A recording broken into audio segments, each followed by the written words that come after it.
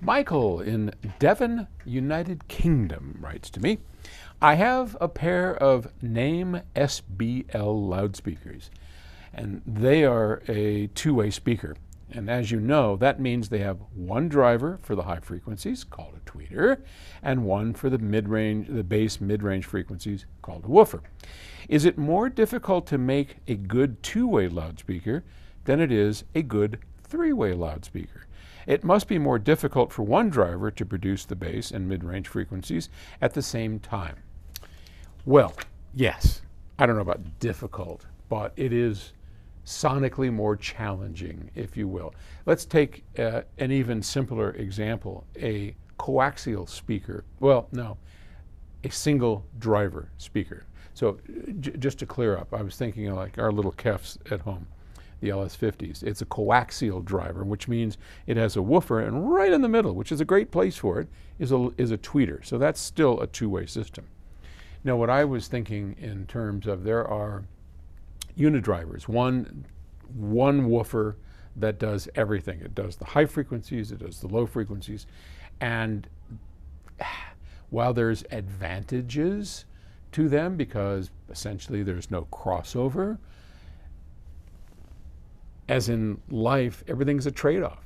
So as that woofer is moving in and out with bass, it's also moving like this, and you get what's called Doppler and depending on how they've worked it out, can be good or not so good. I'm, I'm not a big fan. So then what we do is we start separating out the frequencies. Now we're going to go to a two way. We take the tweeter and we take the woofer. Well, that's better than a single speaker trying to do everything, in my opinion. And when you go to a three way, it's even better. And there's less that you're trying to force the products to do. So let's take the two way, for example. Think of the challenge for that. Either the woofer has to go up fairly high to meet the tweeter, or the tweeter has to go fairly low to meet the woofer. And each one is a challenge. So some tweeters aren't so great when they go down to, say, a kilohertz. And most woofers aren't so great going up to a kilohertz. So if your tweeter isn't very good down to a kilohertz, that means you're going to roll it off at something higher. And that means the woofer then has to go even higher. And as it, do, it changes its directionality, it changes the kind of woofer you can use or should use. The crossover is more challenging. If you then put a third component, a mid range driver, to bridge that gap between the tweeter, so now the tweeter doesn't have to go down that low. Tweeter can go to two or three kilohertz where it's very comfortable. And then the mid range takes over from there, goes down maybe to 500 hertz, you know, 600 hertz, something low when it's working well. And then the woofer takes over.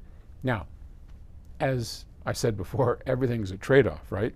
When you go to a three way, the crossover to make that seamless so that you don't hear when they switch over that's, that's the magic. That's the challenge. And as I watch Chris Brunhaver design these two-way, three-way, four-way systems, there's a hell of a lot of engineering skill and listening that goes into it. And Chris, Chris is amazing. But yeah, so harder to design, better sounding. Okay? I hope that helps. Great question. Thanks.